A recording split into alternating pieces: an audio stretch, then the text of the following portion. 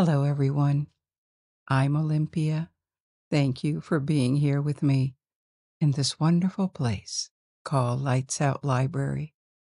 And I have a great story to tell you. Tonight, I invite you to explore with me another series of historical stories. A few months ago, we explored a story about gemstones in general.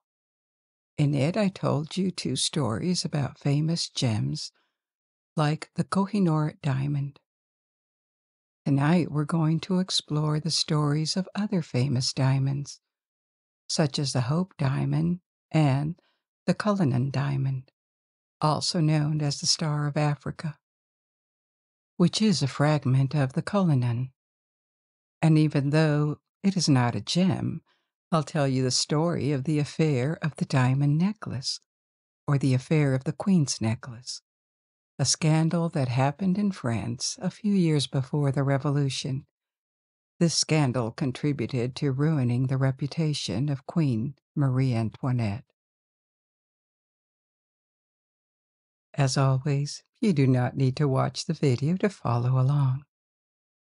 If you wish to, you may close your eyes and forget about any worries as we embark on this adventure together. Also, we created a Patreon page for those of you who wish to and can support this project and get more of it. If you join, you will get various new things like the possibility to listen to all episodes with and without background sounds and regular bonus episodes.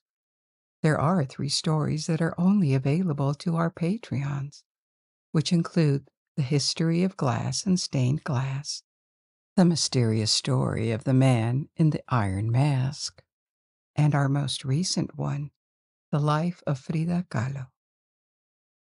And we will continue to add more. You will be able to download all these audios and you will also have your say on the choices of topics, advanced releases, and updates on upcoming episodes. We hope to see you there soon so that we may continue developing Lights Out Library, which we do enjoy so much. You will find links in the description box and the first comment pinned under the video. If you fall asleep and wish to resume the video later, or jump directly to a particular part of the story, timestamps are also listed in the description and pinned in the first comment, as well as links to different streaming options like Spotify, Apple Podcasts, Amazon Music, which may be better suited for you. But before we begin, Assume a comfortable position. Take a long, deep, relaxing breath. When you exhale, release the tension in your shoulders, your neck, release the tension in your facial muscles too, and allow the sound of my voice to guide you through this journey. Let's begin our exploration with the story of the Hope Diamond.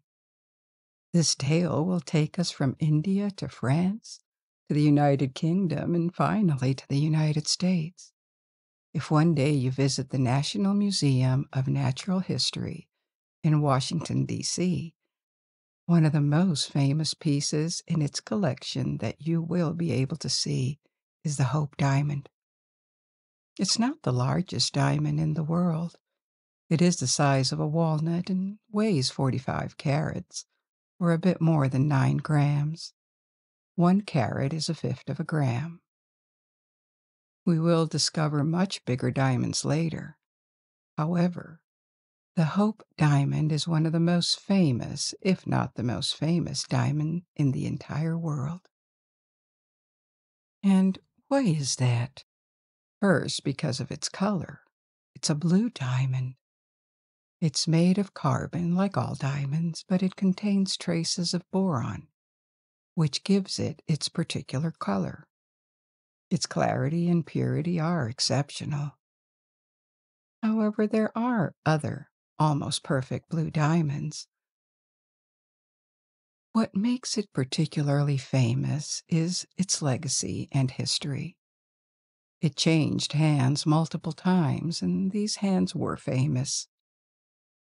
To explore all this, we need to go back in time, more than 300 years. Our story begins in India. The Hope Diamond is a Golconda diamond, meaning that it comes from a mine that was in the territory of the Golconda Kingdom in modern India. This is in the state of Andhra Pradesh in the southeast of India. The mines of Golconda produced some of the biggest, purest, and most famous diamonds in the world. As soon as Europeans established contact with India by sea, they opened direct trade between the Indian states and Western Europe. The extraordinary gemstones that existed there excited the appetite of kings aristocrats, and collectors. Together with spices and precious fabrics, Indian diamonds began to reach Europe. Not just extraordinary diamonds, but stones of all sizes and qualities that European gem merchants sought. Sometimes these merchants were also thieves, because many diamonds were extorted or looted in military expeditions over the centuries. The Hope diamond first appeared in the hands of a French merchant who had made several trips to India. His name was Jean Baptiste Tavernier. The exact origins of the stone are unclear.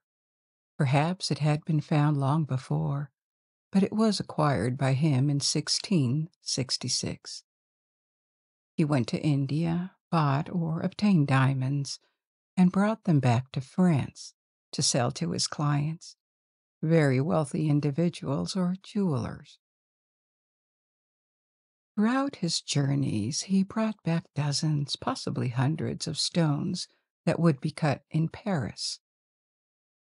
In 1669, three years later, he sold the diamond along with dozens more to the most prestigious client possible in France, and one of the heaviest buyers of gems at the time, Louis XIV, the Sun King. In 1669, Louis XIV was still young and on the rise. His influence was growing, his wealth was immense, and he had begun to spend it on building the Palace of Versailles. He accumulated collections of art and commissioned expensive furniture paintings, jewelry. Extraordinary gems were like trophies that kings would add to their crown jewels, scepters, crowns, and jewelry in general. They did this for pleasure, for their taste for luxury, and beyond that, to display their wealth and power. Louis XIV bought the future Hope Diamond and many smaller stones for the equivalent of 147 kilograms of pure gold.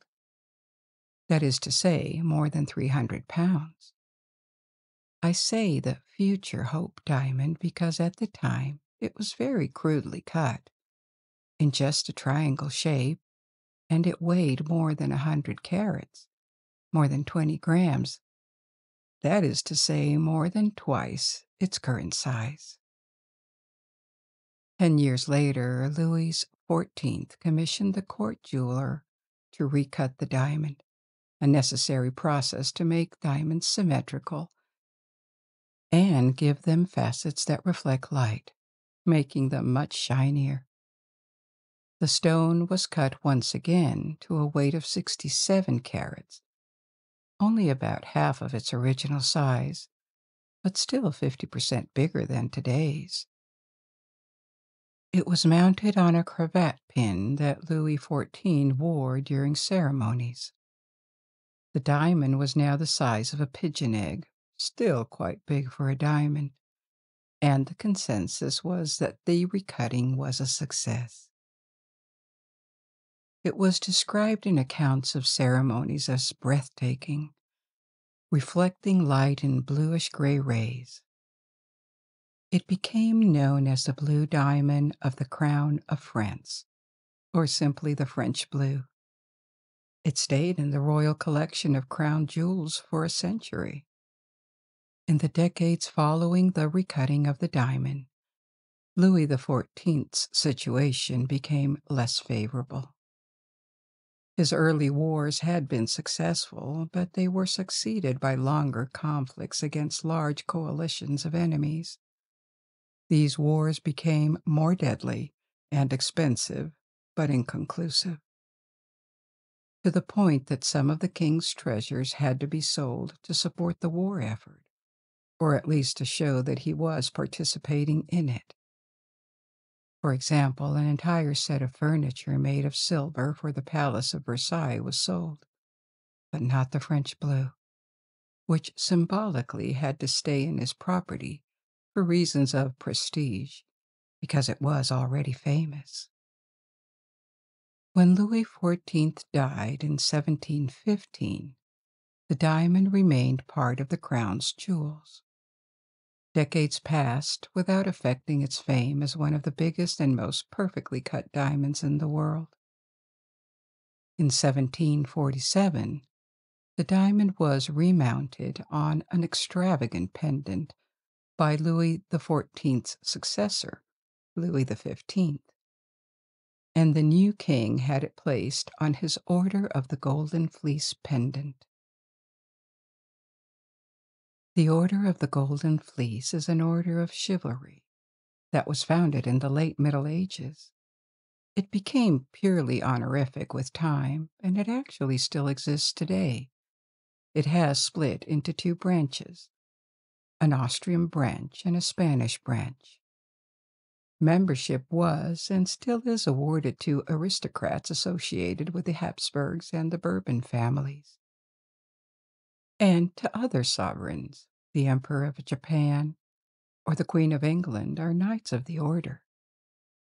At the time in the 18th century, Louis XV had been made a Knight of the Order because of the King of Spain, who was Grand Master of the Order, was his relative.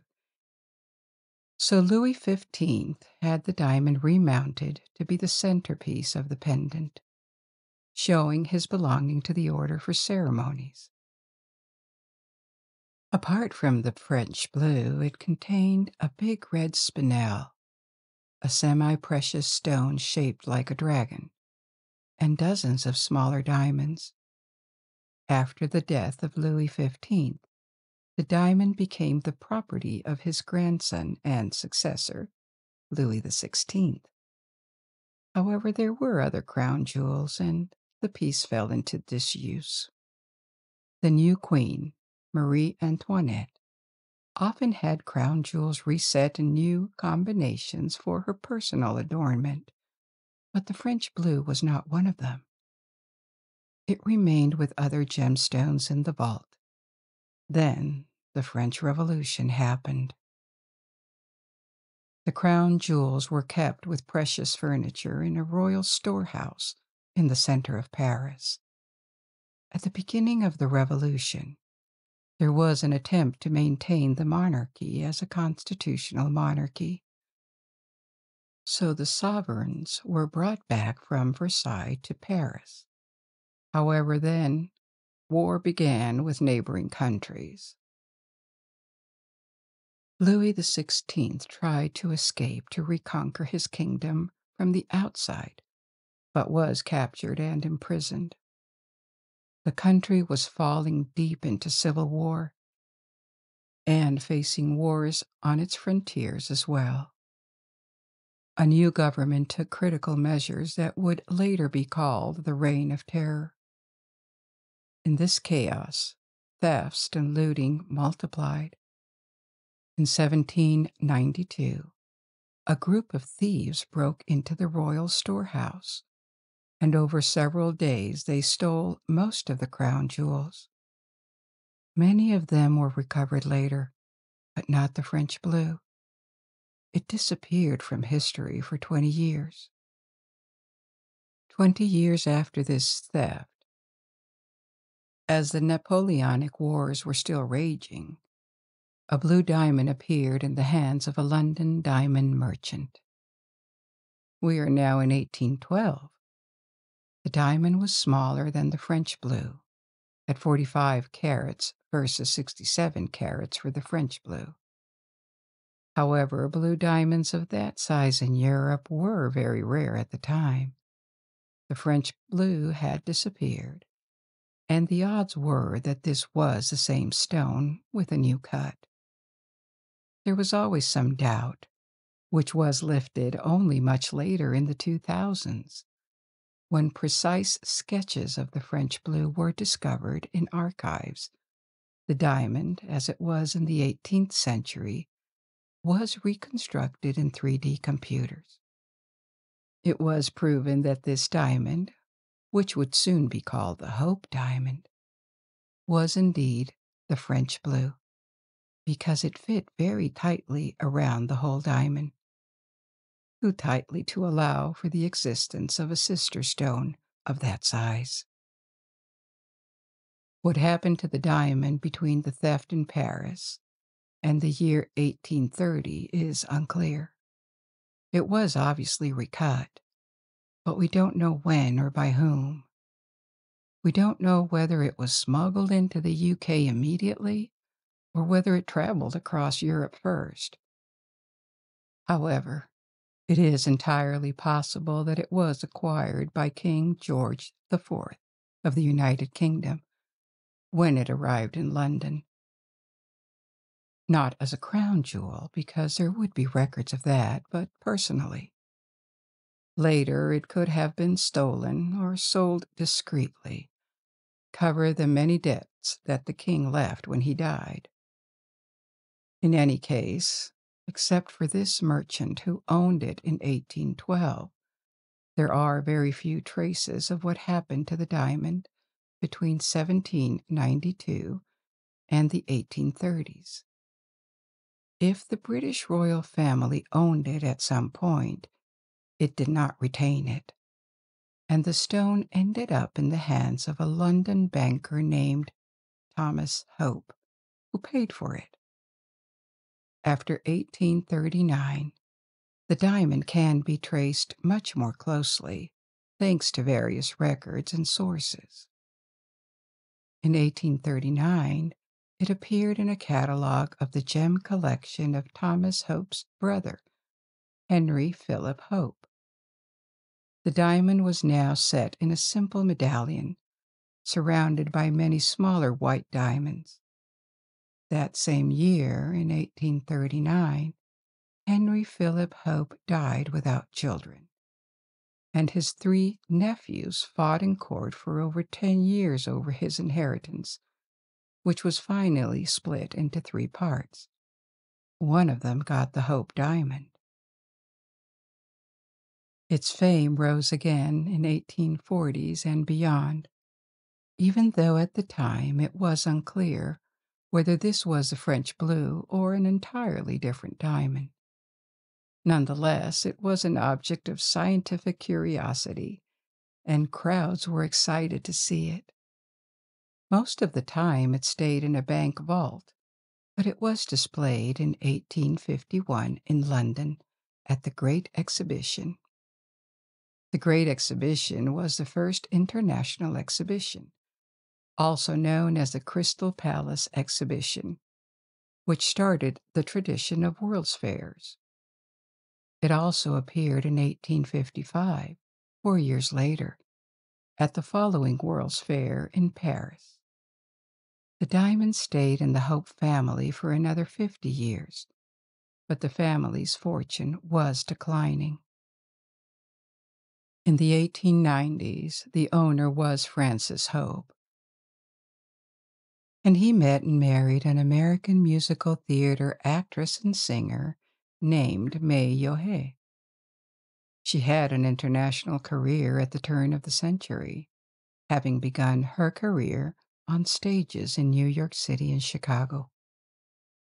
However, she gained fame on the London stage, and she wore the diamond, or maybe a replica for safety. It's not exactly known. on several occasions.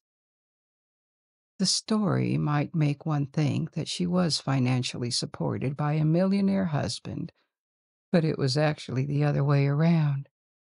Francis Hope, who owned the diamond, was ruined and had accumulated debts that he could not repay. The will of his ancestors prevented him from selling the stone. It was years before he could obtain permission to sell it, and in the meantime, he was supported by his wife. When he could finally put the Hope diamond up for sale in 1901, she had run off with another gentleman. So Francis Hope sold the diamond to a London merchant, who then sold it to another dealer based in New York City. This is how the Hope diamond crossed the Atlantic to America. It had spent the 17th century in India, the 18th in France, and the 19th in Great Britain. Since the 20th century, it has been in the United States. However, in 1908, it returned to Paris for a short time because, after it arrived in New York City, the diamond was sold again to a Turkish collector possibly on behalf of the Sultan of the Ottoman Empire, but this is uncertain. What is documented is that the diamond briefly returned to Paris, where it was bought by a famous jeweler, Pierre Cartier, a member of the Cartier family, whose grandfather had founded the Cartier Jeweler House. Two years later, Cartier sold it to a wealthy American couple from Washington, D.C., the McLeans. The McLeans were as elite as one could be in America at the time. They both had personal fortunes, and the husband, Edward McLean, became the owner of the Washington Post a few years later. The wife, Evalyn McLean, was a mining heiress and a socialite. They acquired the gem in 1911, and it was during this period that the Hope diamond began to acquire its reputation of being cursed, supposedly because many of its previous owners had met tragic fates. It is not entirely impossible that the McLeans themselves fabricated this supposed curse for publicity and maybe to increase the value of their investment. And in any case, for 36 years, the Hope Diamond remained in the hands of Evalyn McLean. She wore it on many social occasions, surrounded by elaborate security precautions, because it was one of the most valuable gemstones in the world. However, the stone was not stolen during her ownership, Evalyn McLean died in 1947. The diamond was then sold to settle her debts in 1949 to another famous jeweler, Harry Winston. He was both a good businessman and an artist jeweler who redesigned a lot of old jewelry and set large gemstones into more contemporary styles. Almost 10 years later, Harry Winston donated it to the National Museum of Natural History in Washington, D.C., in the hope that it would help the United States establish a gem collection. He also donated another major diamond, the Portuguese diamond, which is a huge white or clear diamond of 127 carats more than twice the size of the Hope Diamond. And this is how the Hope Diamond ended up in Washington, D.C., after centuries of travels and tribulations. And maybe even more than what I just told you, because we have no trace of it before its appearance in India in 1666. But maybe it was found earlier. Now, I also told you that at the beginning of the 20th century, the diamond began to be surrounded by mythology. A curse. It was said to bring misfortune or tragedy to people who owned it or wore it. A claim appeared in the press that it had been stolen from the eye of a statue of the Hindu goddess Sita. These were mere rumors, actually. They were, and still are, entirely baseless. And from this theft in India, the curse would have been born. This type of legend was very popular in the late 19th and early 20th centuries.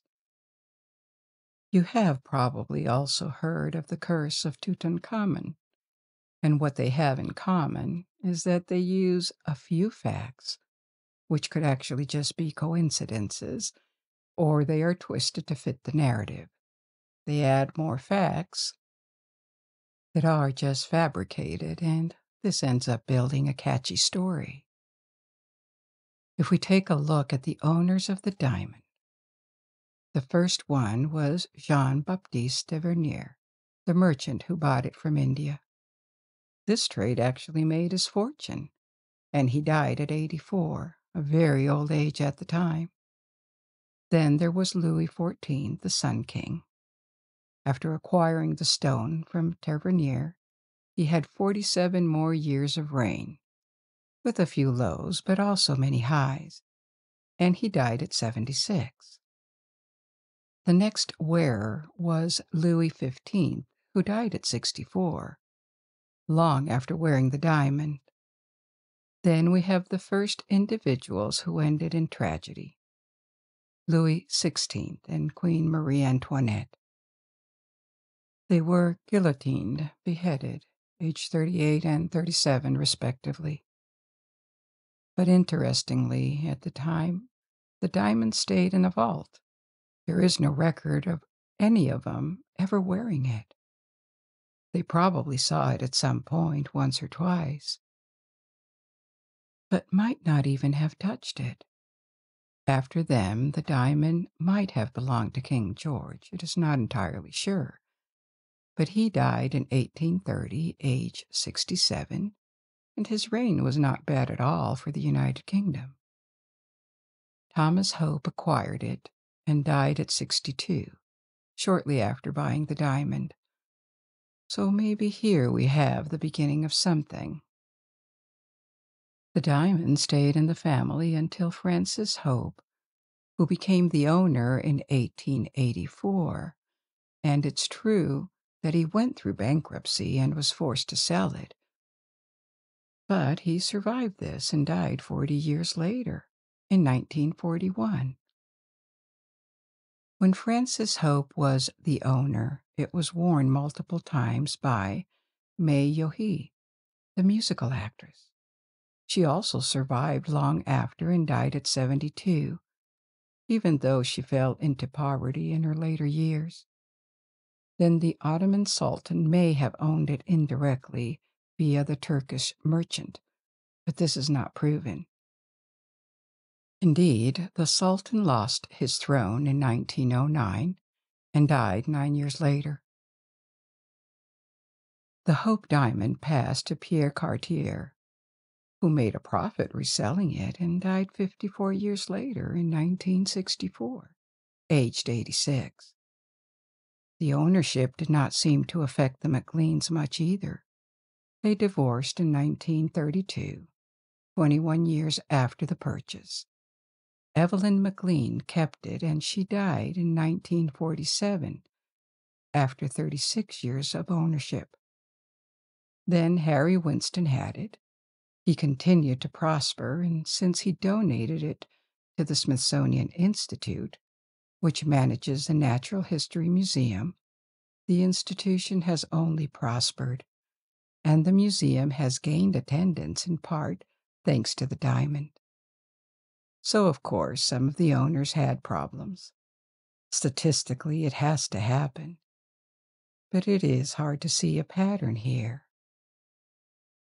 If there was a curse, it seemed that it only worked for a few decades at the end of the 19th century and the beginning of the 20th century. I would be tempted to say that this scarce narrative was fabricated, with the unhappy fates of other figures vaguely linked to the ownership of the diamond. For example, it was argued that one of Louis XIV's mistresses, Madame Montespan, would have worn the diamond, and she ended up in disgrace. But there is no mention anywhere that she ever wore it. That would actually be impossible in public because she was a mistress, and at the time it was part of the crown jewels. She certainly saw it when the king wore the diamond, like hundreds of other people, and that's a very loose connection. Disgrace was the fate of every single royal mistress, so that's hardly exceptional. Another disgraced figure during the reign of Louis XIV was the finance minister, Nicolas Fouquet, who was arrested and jailed for basically irritating the king because he showed off his wealth too much and mixed his own finances with the kingdom's. Not an unusual practice at the time, but as far as we know, Nicolas Fouquet never owned or wore the diamond. Louis XVI and Marie Antoinette were beheaded during the Revolution, more than a century later. But of all the owners, they were probably the least interested in the diamond and probably never thought about it. So, unless the diamond would have taken revenge for their lack of interest in it, it is also hard to see a curse at play here. So, why did this curse legend emerge and remains famous to this day? Probably because it was encouraged by owners and former wearers of the diamond. I told you about the actress May Yohe. She tried to capitalize on her identity as the former wife of the last hope to own the diamond. She had misfortunes in her life financial, sentimental, and professional. And sometimes she blamed the stone for it.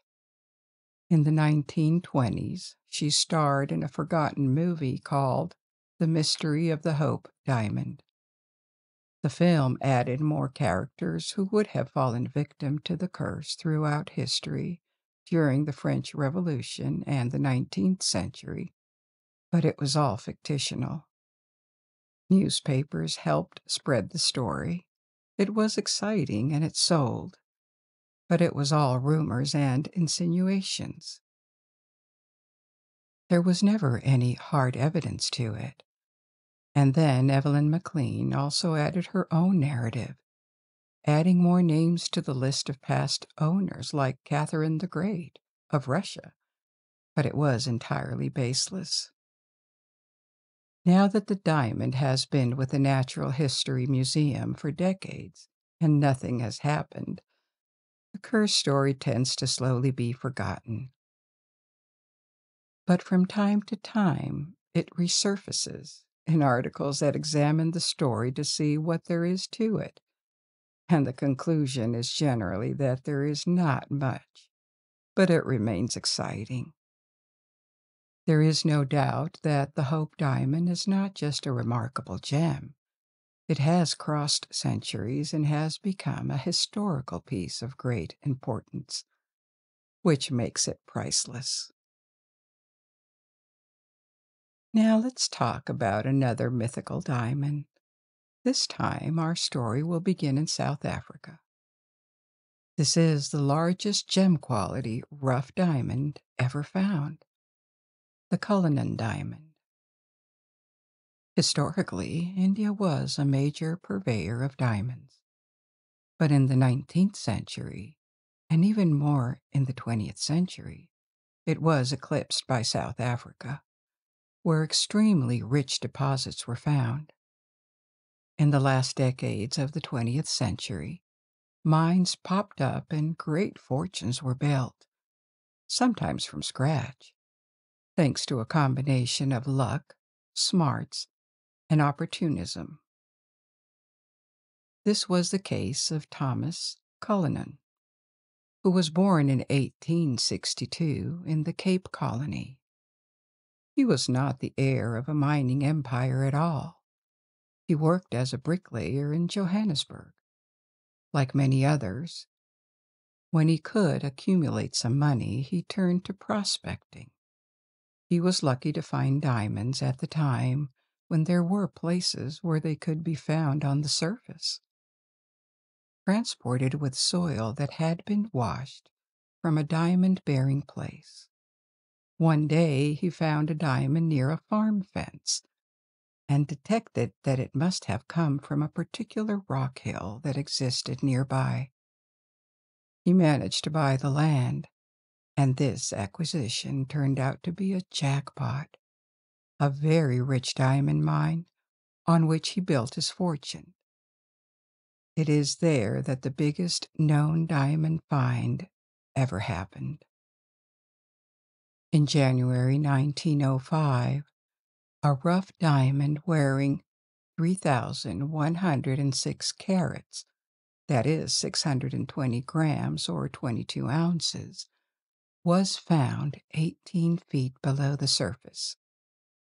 This diamond was three times bigger than the previous South African record, the Excelsior diamond, which weighed only 972 carats. There was no doubt that this stone had extraordinary value. It was so big and also of such good quality that it would be hard to sell. Many diamonds that are found are insufficiently perfect. They contain impurities. But this one was good enough to be considered gem quality.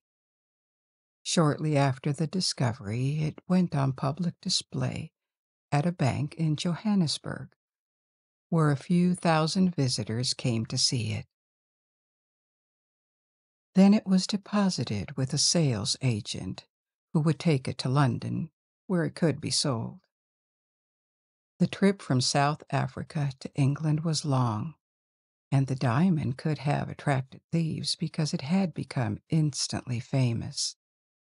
So a steamboat was staffed with detectives and a parcel that officially contained the stone was locked in the captain's safe and guarded throughout the entire journey. But it was just a decoy. The steamboat carried a fake, and the real diamond was sent to London in a plain box by mail. On arrival in London, it was carried to Buckingham Palace for inspection by King Edward VII. Initially, the diamond drew a lot of interest from potential buyers, and it was put on sale on the London market. But then nothing happened. The diamond was just too big for jewelers. Buying it meant that it would have to be split into different pieces. That was frightening because the cost of buying the rough diamond was huge and at the time, no one was willing to take the risk. So it remained for sale for two years, until the Transvaal Prime Minister from South Africa suggested that the colony should buy the diamond as a gift for Edward VII, as a token of loyalty and attachment, and so it was done. The king accepted the gift, and the Cullinan diamond joined the British crown jewels. At this point, it was still rough and not much more impressive than a block of glass visually. It had to be cut, and a gem cutter from Amsterdam, where it was a specialty, was appointed. Again, the ship carried an empty box across the North Sea to Amsterdam to throw off potential thieves. The diamond traveled by ferry and train in the pocket of the gem cutter, who had discreetly traveled to London to receive it.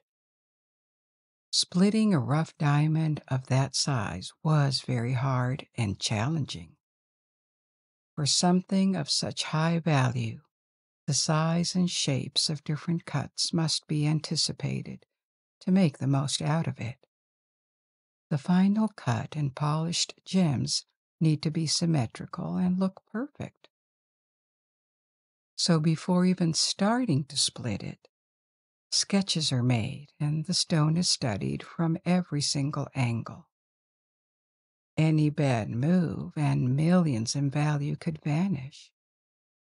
The splitting of the stone was planned for weeks, until it was decided to make nine large stones out of it, plus almost a hundred minor brilliants and smaller diamonds. These nine stones have the numbers Cullinan 1, 2, 3, and so on.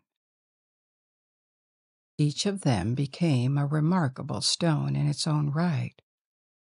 The largest one is Cullinan 1, also known as the Star of Africa. It weighs 530 carats, which is more than 10 times the weight of the Hope diamond, and it has 74 facets. It was set at the top of the sovereign scepter. To this day, it remains the largest clear cut diamond in the world. Among cut diamonds, it was surpassed only by a brown diamond, the Golden Jubilee diamond, in 1990, which was actually discovered in the same mine as the Cullinan. The Great Star of Africa is not completely perfect it has very minor flaws, but they are invisible to the naked eye. For a diamond of that size, you cannot be too picky. The Cullinan II, sometimes called the second star of Africa, is a cushion cut diamond. It is like a wide oval or rectangle with curved sides, and it was set in the front of the imperial state crown. It weighs 317 carats and is also one of the largest cut diamonds in the world. The Cullinan III is pear shaped like a drop, and it weighs 94 carats. It was sometimes worn by Queen Elizabeth II as a brooch, together with the Cullinan IV, which is square and weighs 64 carats. And then there are five more. In all, splitting and cutting these diamonds took eight months, with three people working full time on them to complete the task.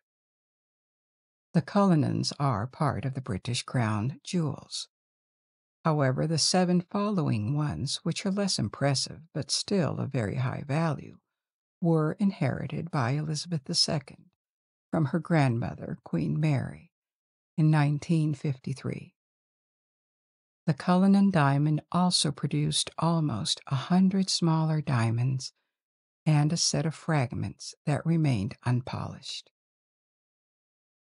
Some of them were also owned by Elizabeth II, while others have been dispersed and set into other jewels. Now, our third and last story of the night is not exactly about a gemstone but it is an adjacent topic that you often request. So let's do it. Let's explore the affair of the diamond necklace, which will take us back to France in the 18th century.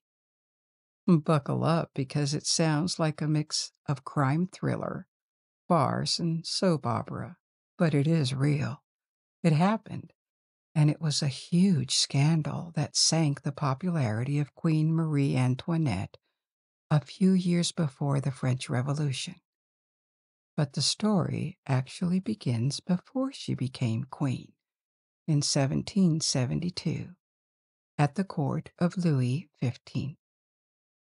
We already talked about him as one of the owners of the French blue, the predecessor of the Hope diamond. Louis XV always had mistresses. The most influential one during his reign was Madame de Pompadour, who was not born into the aristocracy, but acquired all the etiquette and codes of the court and became very influential, not just in politics. She also became a patron of the arts and protected philosophers. Her peak as the official chief mistress of weekends was when she was in her late 20s, from 1745 to 1751, But even after, she remained a friend of the king and an influential figure. As Louis XV advanced in his reign, he kept picking very young mistresses, typically in their twenties, who stood out increasingly for their looks and not necessarily anything else. In the last years of the reign, the mistress in chief was Madame du Barry. She was not well liked, but even her detractors had to agree that she was extraordinarily attractive and beautiful. She had natural blonde hair and shaped blue eyes, and a very bubbly, funny personality. When Louis XV noticed her, she was 25, and he was 53.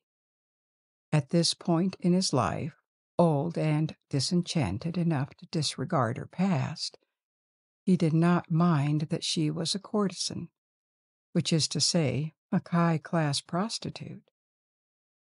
Her origins were very modest. She was the daughter of a seamstress and an unknown father.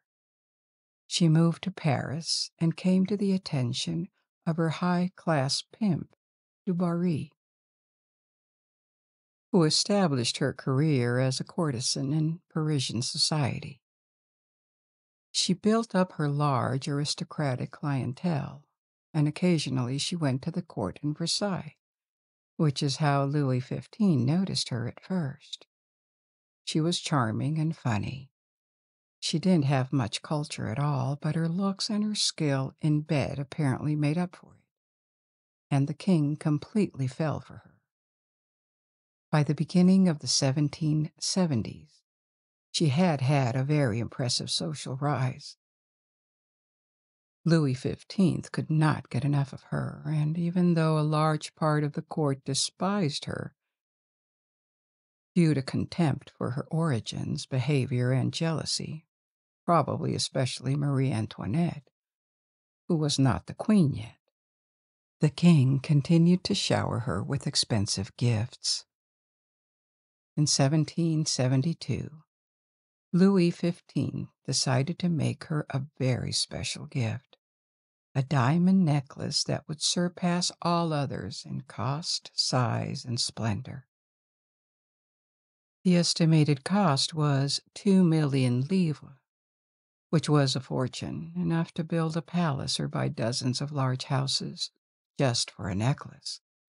But jewelers would need several years to amass the appropriate set of diamonds. Two years after ordering the necklace in 1774, Louis XV died of smallpox, and Madame du Barry instantly lost her status at the court. Her sugar daddy was dead, basically, and she was immediately banished, never to be seen again at Versailles. When Louis XV died, he was very unpopular. But the new sovereigns, Louis XVI and Queen Marie Antoinette, were very popular at the start. They represented change. They were young, they were good looking, at least she was. After the very long reign of Louis XV, their ascension was seen as a new start.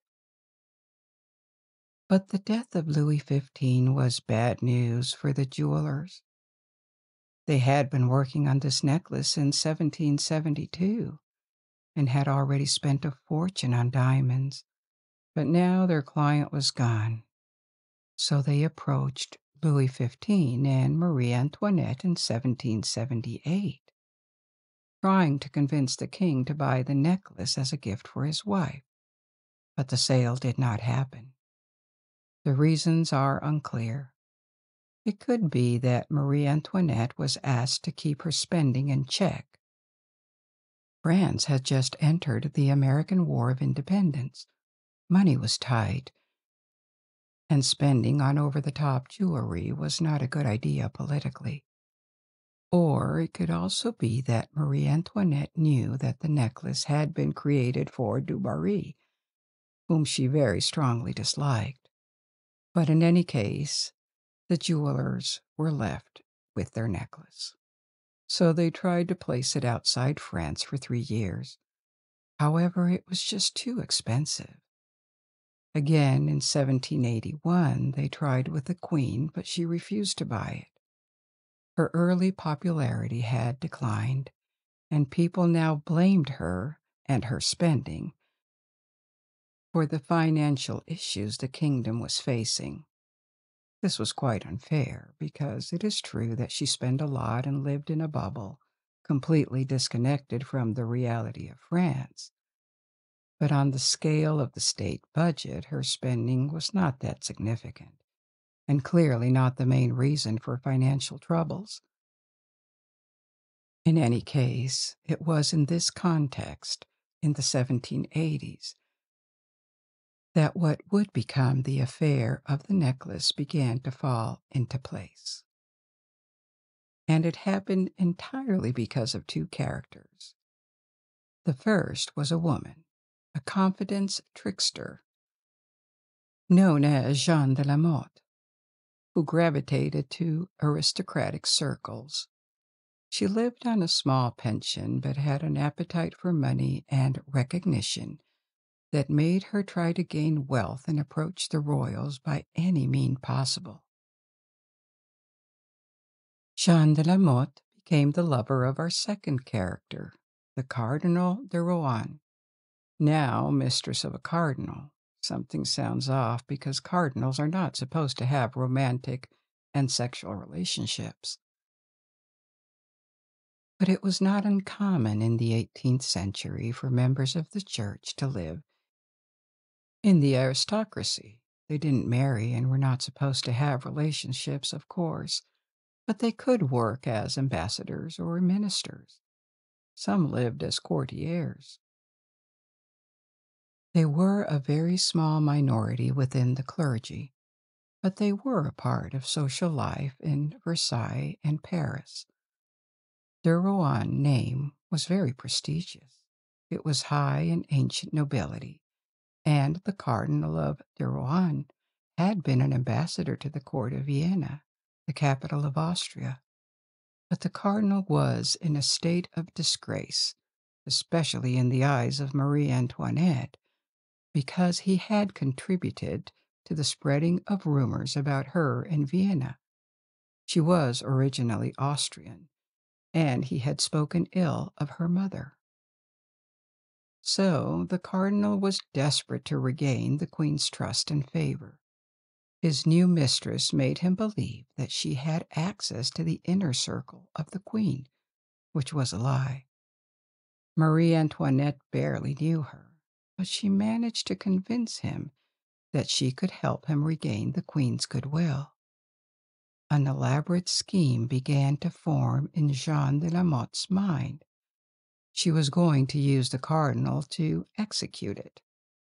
She persuaded him that he could write to the queen and that she would pass the letters both ways. This was not true.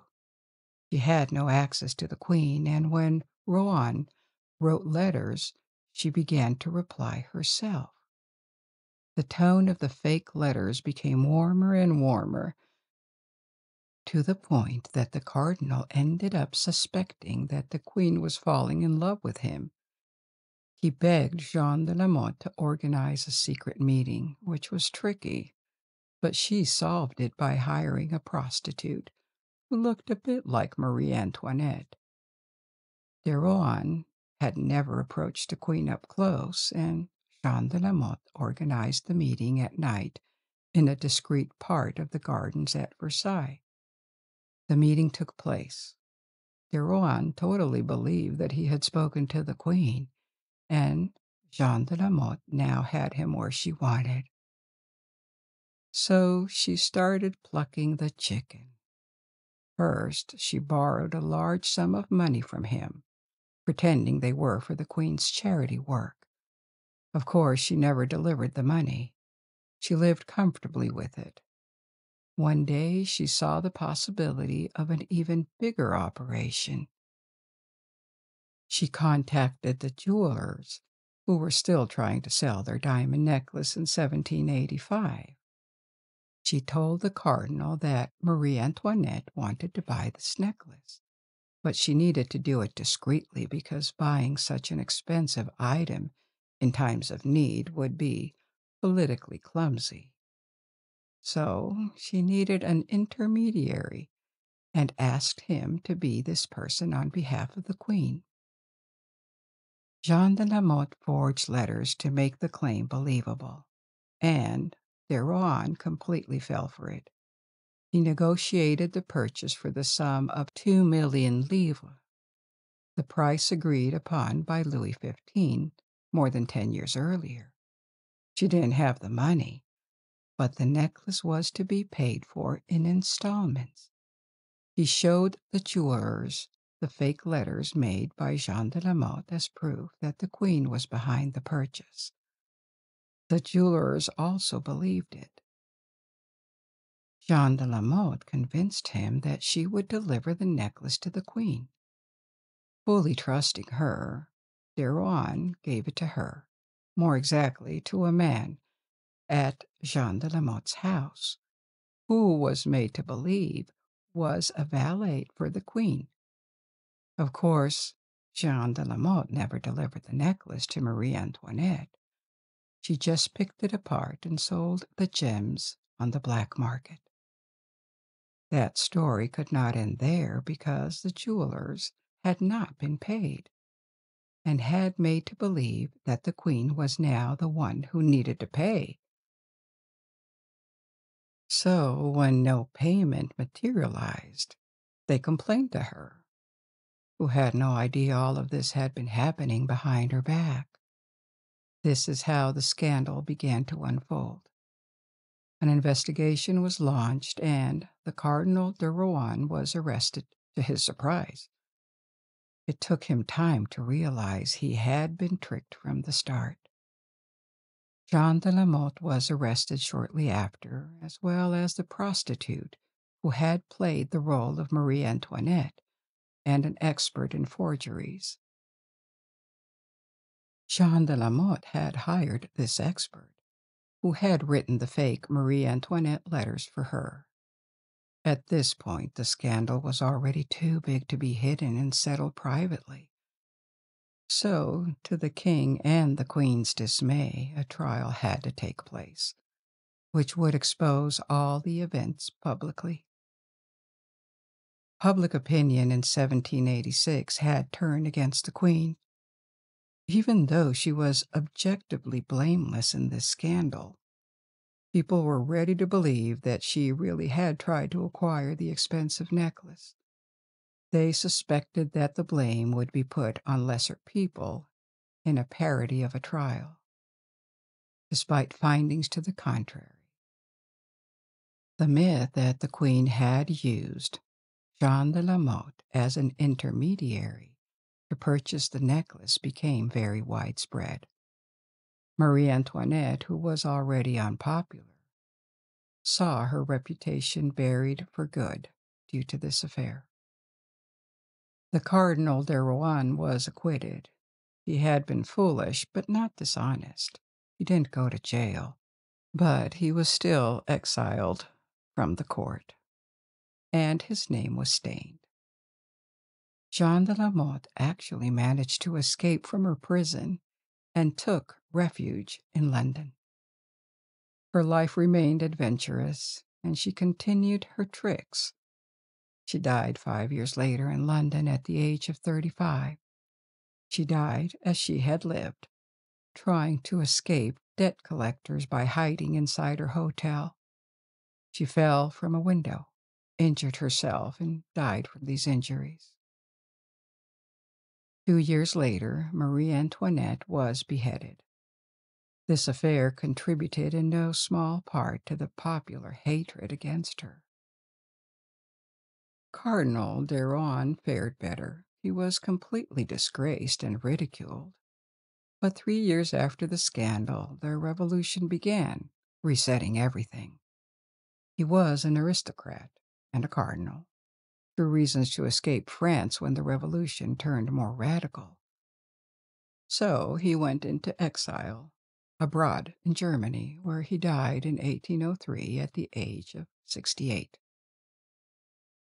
This is how the affair of the diamond necklace ended, with the necklace destroyed and its gems dispersed.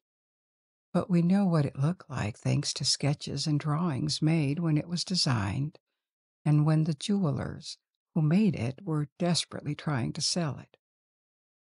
It was one of the most expensive and unique pieces of jewelry ever created. We've come to the end of our story tonight. I hope you enjoyed this exploration, and I invite you to discover and learn more. Now you can let go and sleep, or you can pick another story from our ever growing library. And until we meet again, good night. Sleep well.